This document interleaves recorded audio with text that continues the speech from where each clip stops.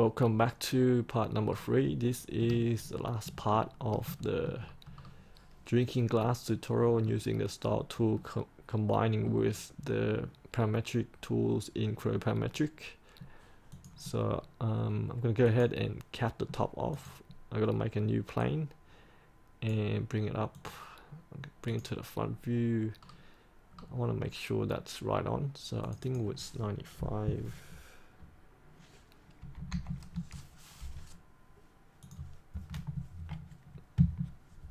Okay, so go ahead and create the plane there and go to sketch.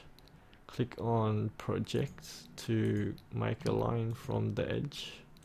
Accept that and click fill to cap off the top. So with that there, I'm gonna go and make, what should I do now? Uh, I'm gonna create a cut, revolve cut on the side here. So switch to front view and go and sketch, click on that plane, go to sketch, and I'm gonna create a little cut here, just like the cut in the um, design of the glass.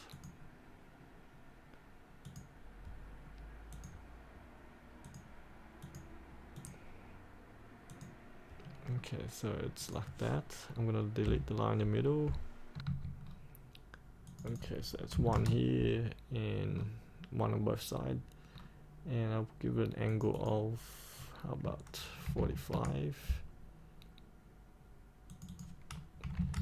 45 and bring that closer so I make that 38 and also round round it off as well so put a fillet here make that 0.3 maybe 0.3 accept that. Now I'm gonna go create a revolve through the axis. And this is what I'm gonna do is maybe trim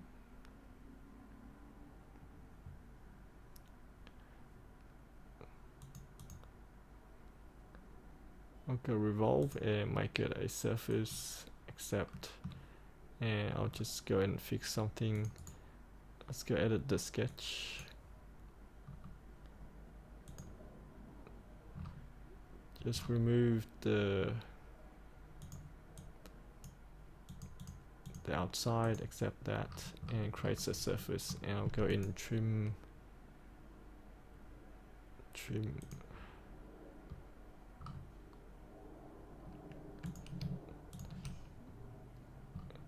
actually I'll go cancel that.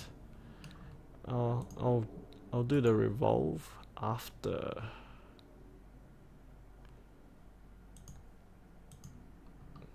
So we still have the sketch there.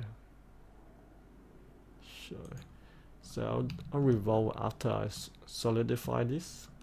So now I'm going to show you the technique to make this a solid. So once you have your part um, hold control and select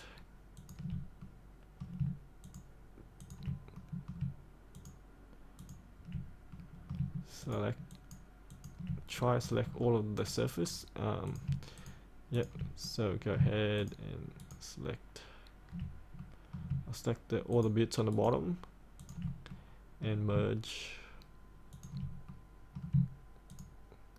So this is not a solid object it's it's got a blue blue color. Uh, it needs to be a gray color that means it's a surface so I don't know if the bottom one selected. Yep, there you go. Now uh, click merge here, and the bottom becomes a surface. Now I'm gonna go do that for the top. Yep, so you gotta select all these surfaces here. Uh, I think there will be a problem for mine because some of these cuts are crossing over each other so they I'm gonna try anyways but um, if you took your time to trim out all these cuts and it will work fine.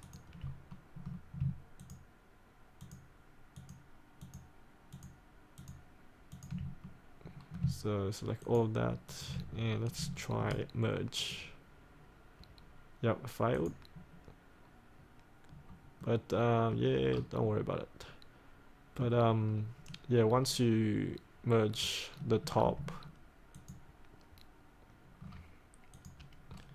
okay why did that happen? All right so just merge the the bottom merge the top and then merge the top and the bottom.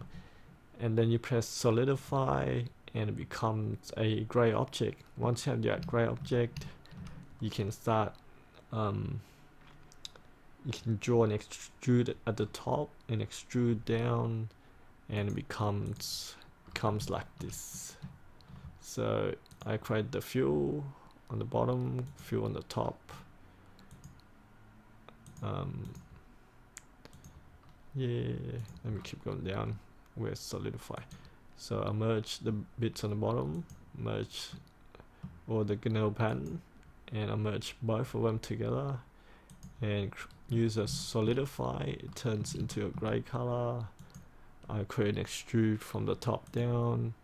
I add a round on the bottom on the inside. Add a round on the lip of the glass. And I create a sketch on the neck of the cup and create a revolve remove. And finally I just add a round there. And once you have that you can start rendering it just give it a material you go to glass material here. Glass materials material in um, Parametric is really good. Uh, looks so realistic. So just with a few simple clicks you can create a realistic glass. So switch that to part so you can select everything. And yeah creates a transparent look and here you just go in. If you pick a scene I'm gonna use this one. And also pick a HDRI maps which is really helpful. Um, I've had this hotel hotel HDRI maps.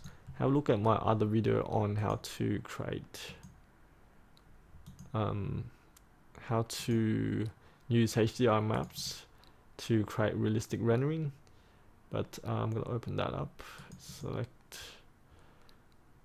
and also go in room make sure the floor is uh, click this button to bring it to the bottom and close that. It's also a good idea to go in option mo switch model display set the quality to 20 and put on edge quality to very high. And put on rendering click render and it will create a really nice render for you. Um, that's it everybody. That's the tutorial on advanced techniques in um, in cutting feature. Um, hope everybody hope you find this useful. Um, it took a lot lot of time for me to figure it out but there you go. I hope you liked the video. Uh, it would be great if you can share with your friends. Let me know what you think.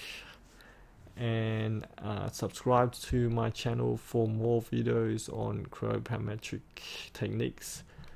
Anyways have a great day everybody. Um, see you next time